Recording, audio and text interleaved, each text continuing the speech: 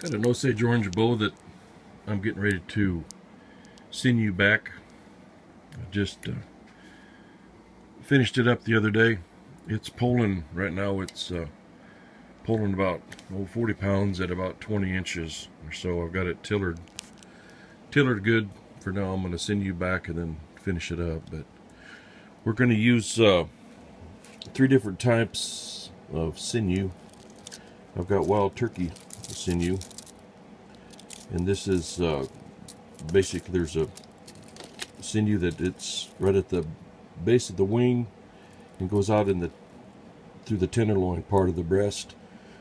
now, I've already stripped out quite a bit of this. It's pretty uniform in size. Uh, it works pretty good. Uh, I've also got some elk sinew down here in the bottom. I've got quite a bit of that. And I've got quite a bit of it already uh, uh, pulled apart. And the last is uh, a deer. I've got a bunch of backstrap uh, deer sinew. So we'll get uh, get it all stripped out where we've got plenty of that and we'll get started. What I'm going to use for glue is a combination of fish glue and sinew glue. Just boiled the leftover sinew down and made glue out of that also. So we'll go ahead and size, uh, start sizing the back with the glue. Okay, I got my glue ready. We're ready to go ahead and size the back of this back of this bow. I'm gonna take it towards the tin. I've recurved the tips a little bit, and so I'll probably take it down the sides a little because I'll wrap a little sinew around the around the ends.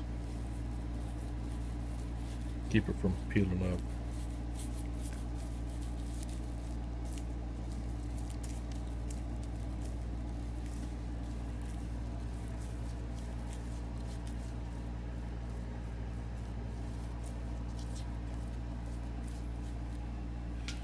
We'll get the other side finish up we'll let that dry a little bit before we start putting the sinew on.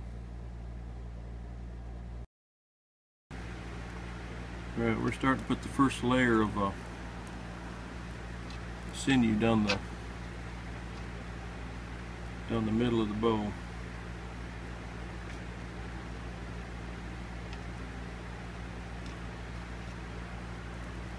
And just overlapping it just a a little bit. And just keep grabbing a little bunny of sinew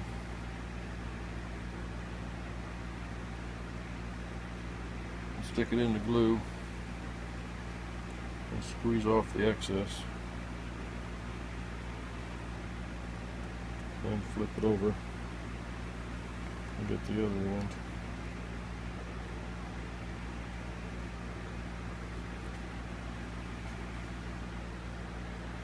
then I'm overlapping. You can see where it ends here. I'll bring it up an inch or so. I'm to roll the next one right along the middle of the back.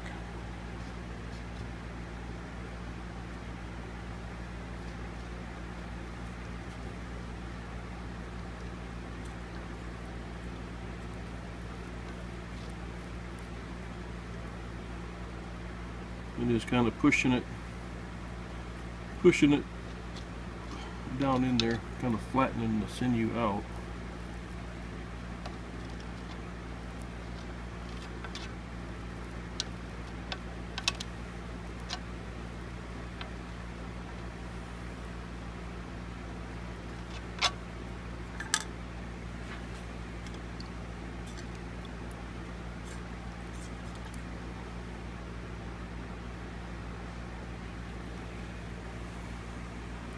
And we'll just keep going. We'll get a single single roll of sinew up and down and then we'll start on the sides and we'll stagger it. Where this one ends right about here and this ends here we'll stagger the next row so it overlaps kind of look, looks kind of like uh, stacking bricks. So we'll keep going with this first layer and we'll get back All right, we've got our first, got our center strip. Of sinew all the way down. And now what we're going to do is uh, come in here. You can see it probably best right in here. You can see right in here where one started and another one started here.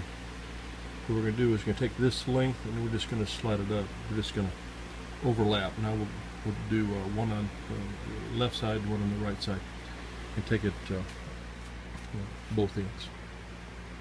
And that'll be the first first layer. And then we'll uh, put three more layers. We're going to put four layers all together. Okay, there's the first layer of sinew.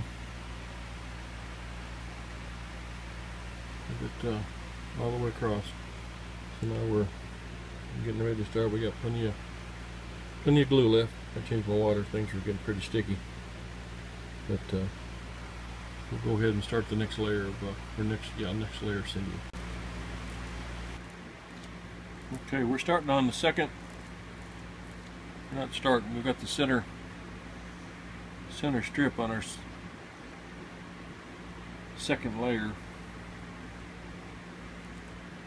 What I'm doing is pushing it down into the previous layer.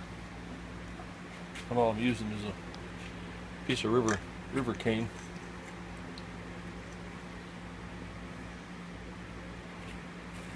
Kind of show how to over here and get a kind of a close up.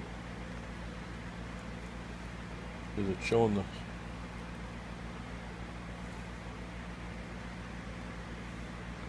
All I'm doing is sticking it down in there, getting it good and wet. And then just squeezing off the excess. Sometimes I use a spoon to make sure it gets covered good.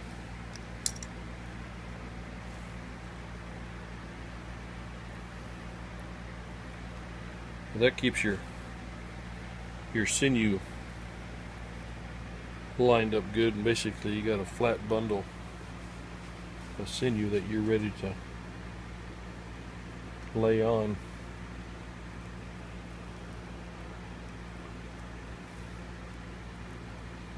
And overlap. It doesn't have to be 100% perfect. But then just start from your center and kind of work it in into the previous layer.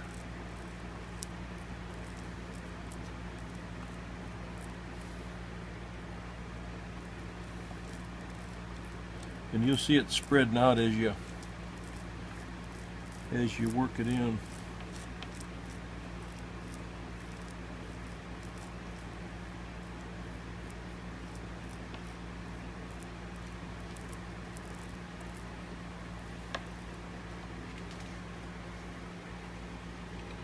And it doesn't have to be 100 percent smooth on the outside because you're going to come back and scrape this and sand it a little bit. So we'll keep going till we get the second layer all the way done. Well, there's the finished sinew back, and I did went ahead and did the rest. It's just the same as the first first part as far as putting it on. And I wrapped, uh, being that you've got the curve on the recurve part, I went ahead and wrapped some sinew uh, around it to keep it from potentially peeling up. And we'll buff that, work that in. So at this point, let's, uh, we'll let it dry good, and then we'll start working it. We're going to end up putting, uh, I think I'm going to put a Western Diamondback uh, rattlesnake on the on the back of the bow. So we'll dry good, and we'll keep going.